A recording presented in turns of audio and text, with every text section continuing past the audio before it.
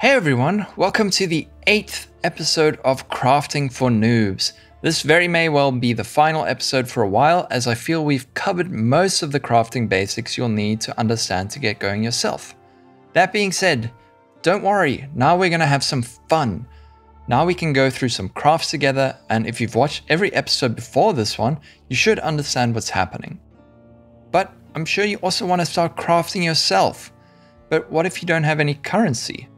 Not to fear, you can practice, experiment safely without spending a single cent, and that's what I'm going to show you today. Craft of Exile. Craft of Exile is a free online tool that allows you to calculate, simulate, and emulate crafting processes. This allows us to determine which crafting method is the best and most cost effective way to create the items we want before we even do anything real in game. So let's have a look. At the top, there are a few buttons. Firstly, have a look at Basic and Advanced. Basic has got some basic information on crafting, stuff we've gone over in the series, things like crafting currency, common crafting methods. If you need a refresher on the last few videos, you can read through all of this. There's also an advanced section where you can read through things like gilded fossils helping to keep the original implicit on Varling.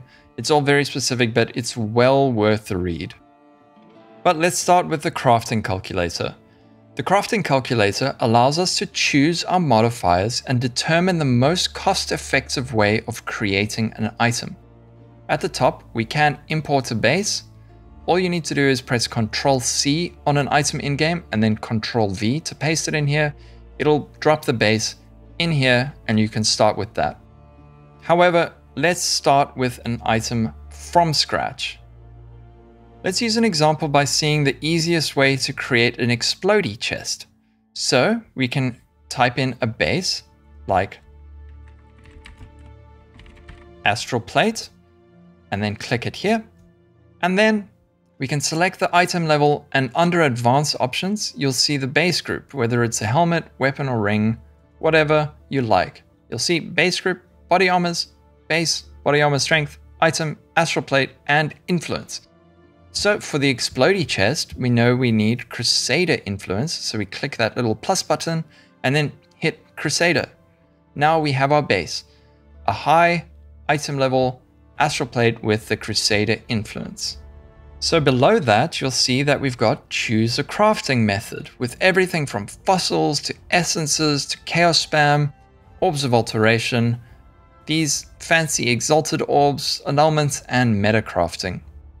But below that, you'll see that we have our mod pool. After selecting our base, this is where we're going to begin. This shows us the tiers, item level requirements, weight, as well as whether the mod is a prefix or a suffix. However, we can just go to the top and search for an affix. So I'm going to type in explode here, click explode.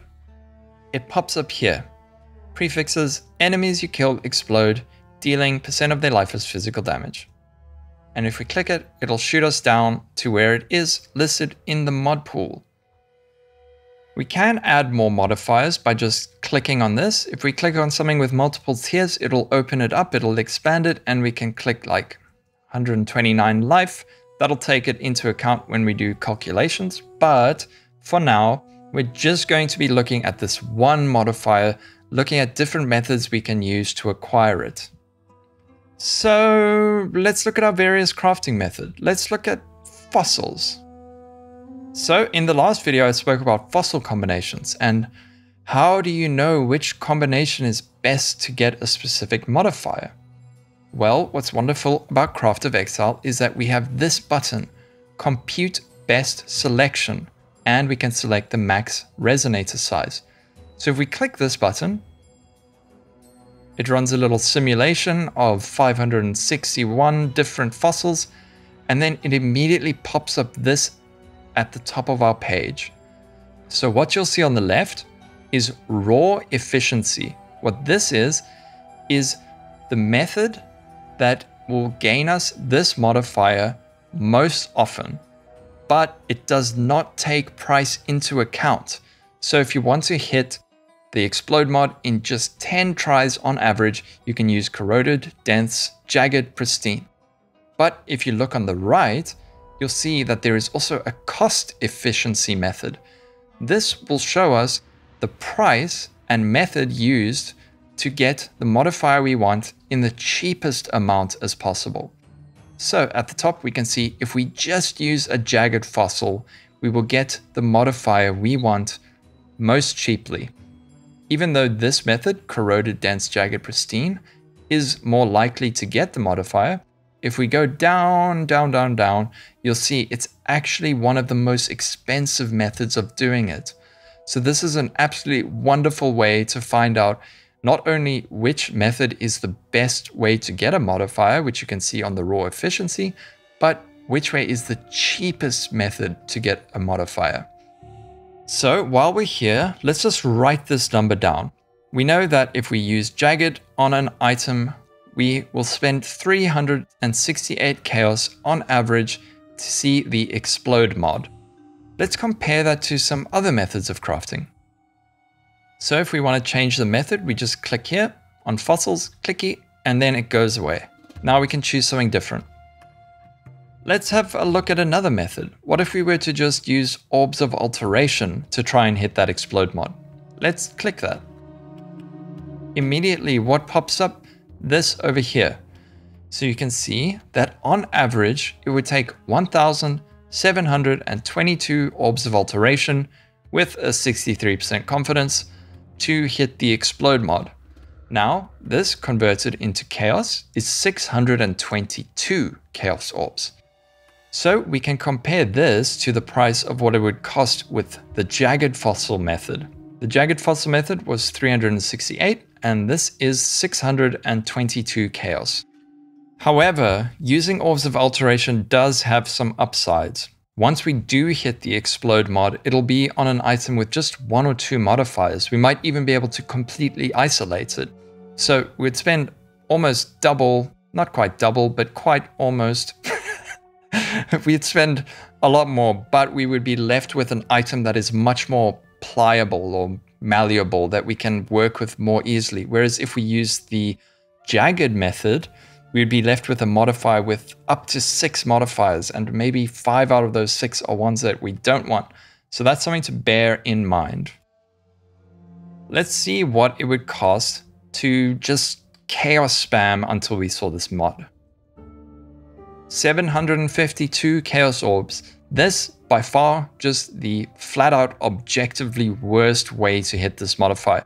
Not only does it cost more than fossils, it also will result in an item with possibly up to six modifiers, so this is just worse on all fronts. We do not want to use this method. So let's just pretend that we want to create some ridiculously powerful item and we're just gonna add some life and we're gonna add chaos resistance and some resistances. Let's just pretend we have this.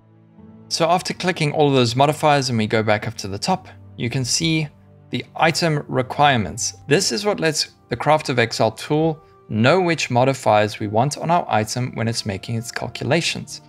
So now that we have our item in mind, we can click through these various things and see which would be best.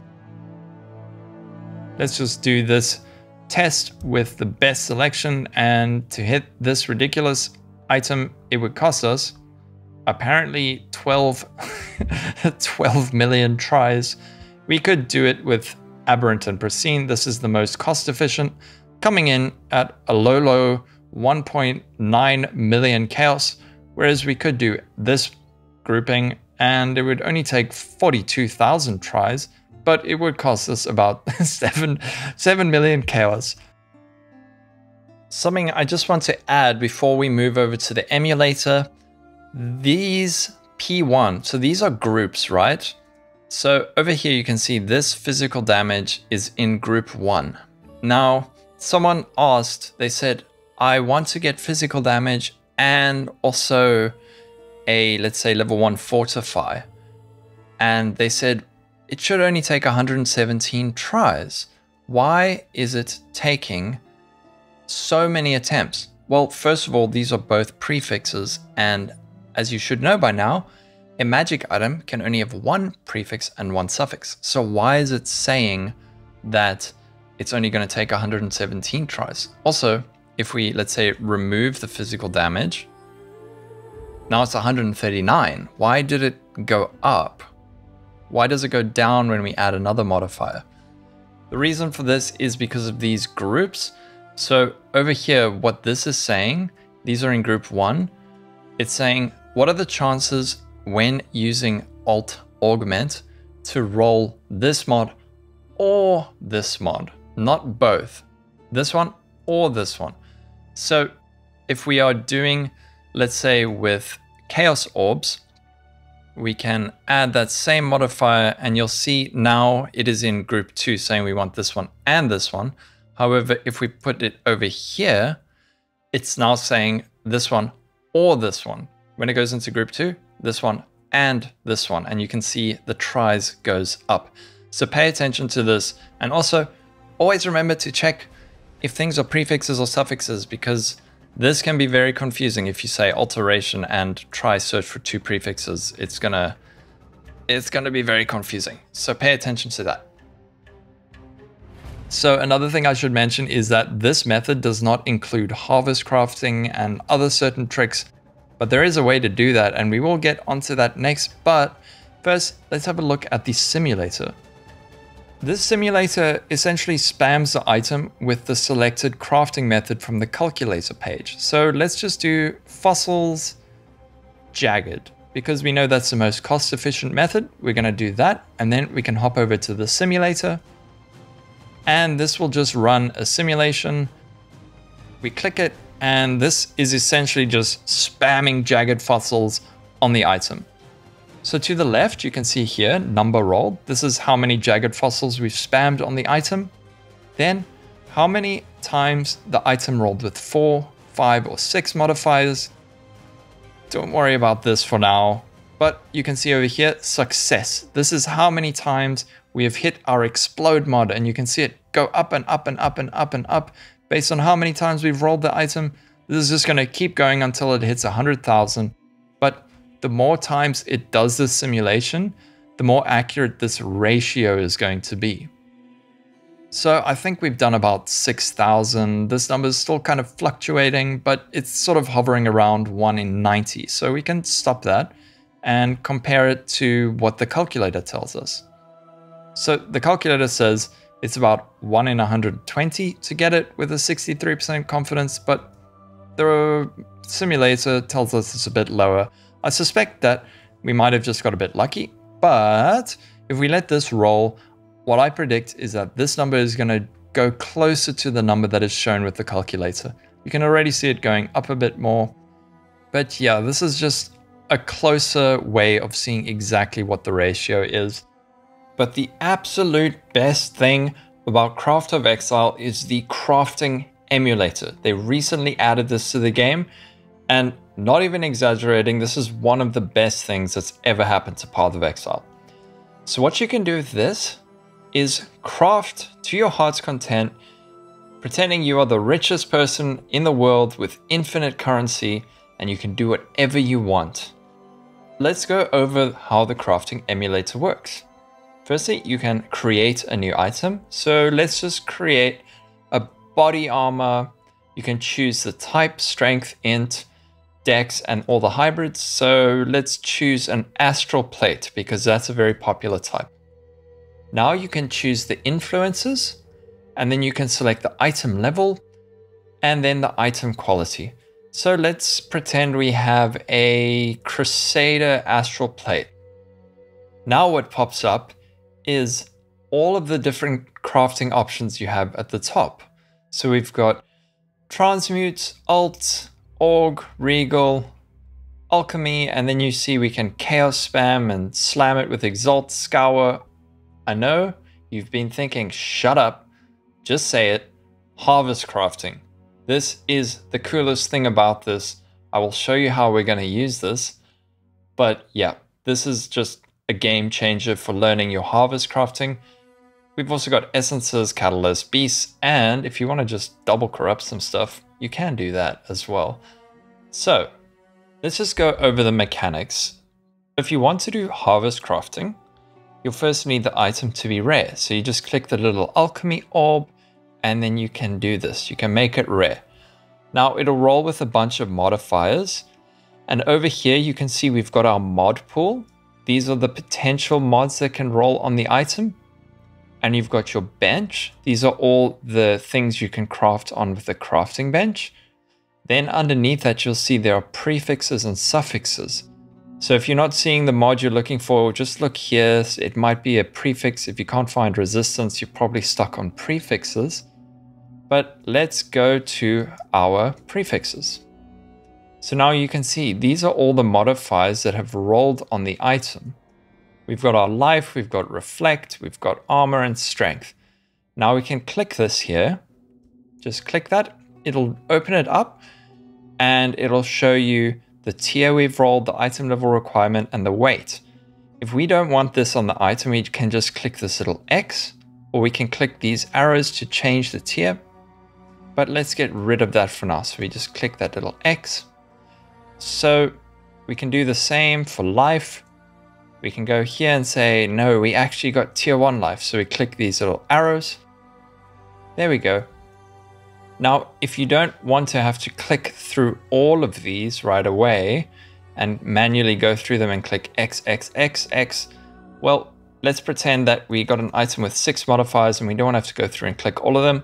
You can just annul. So just annul. Everything is gone. So now that you know how to do that, I just want to show you the history. On the left, it's got an undo button. So just click that. It will undo all those annuls. Then over here, it's got the spending report, how much we've spent, and export. I assume this means that you can export it and then put it into Path of Building.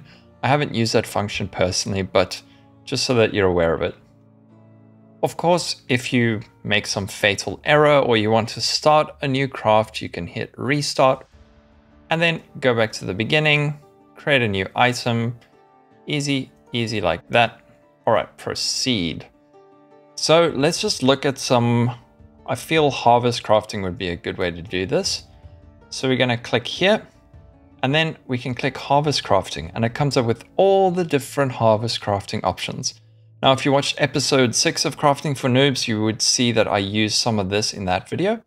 But here we've got augment, replace. This is say, remove a random cold modifier from an item, add a cold modifier, non-type to type, remove a non-cold modifier, add a cold modifier.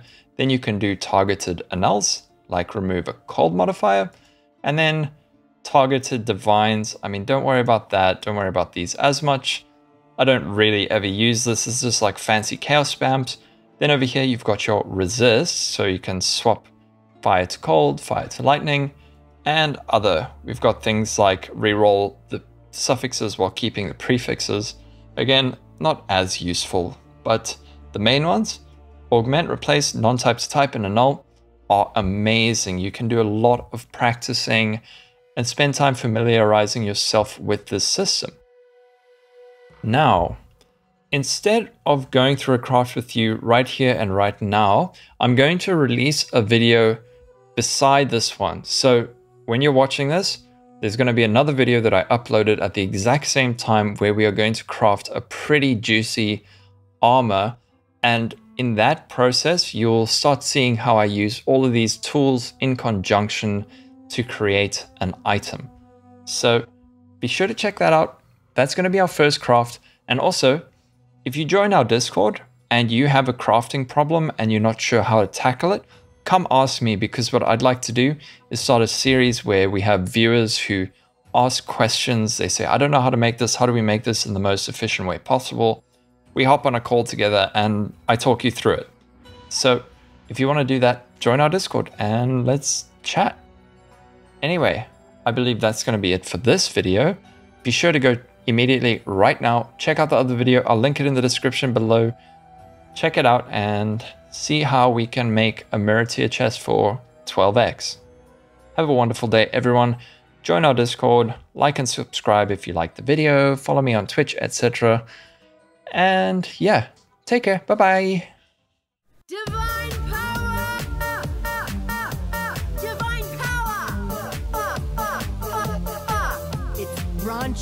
exile. You're making me nervous.